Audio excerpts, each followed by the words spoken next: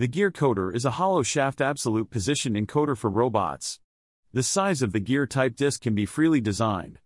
The hollow diameter of the disc can be developed to a large size and manufactured economically. The Gearcoder senses multi-turn absolute position and can transmit position data from multiple encoders with a single cable. I introduced the Gearcoder, a hollow shaft encoder optimized for robots using gear discs. Sensor Lab. While molds and magnetizing jigs are required to manufacture magnetic scales, a gear type scale can be manufactured by cutting various shapes relatively quickly and inexpensively.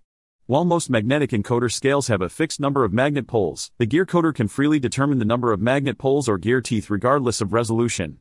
Of the two gears on the right, the larger scale has 64 teeth, and the smaller scale has 32 teeth. I changed the single turn resolution to 26 bits while keeping the sensor and scale the same.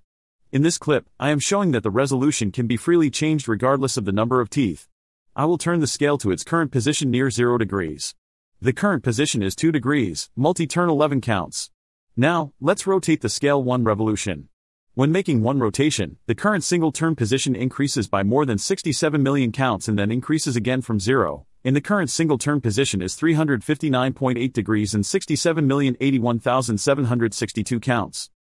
Here, you can see that the resolution per revolution is displayed as 67,108,864 counts. This time, we will explain and demonstrate the function of simultaneously receiving multiple position data from multiple sensors with a single cable, which is essential for collaborative robots.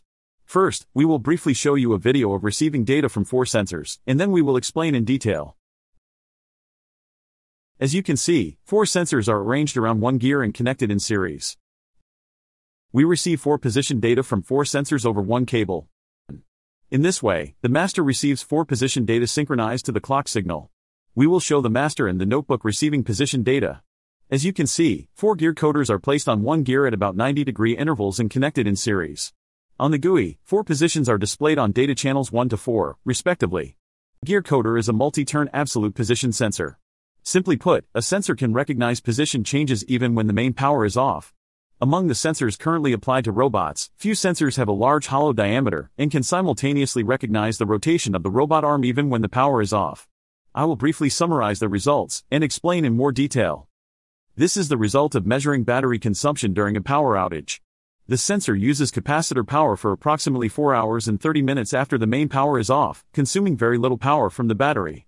After consuming all the power charged in the capacitor, it operates as a battery, and the current consumption is about 16 microamperes.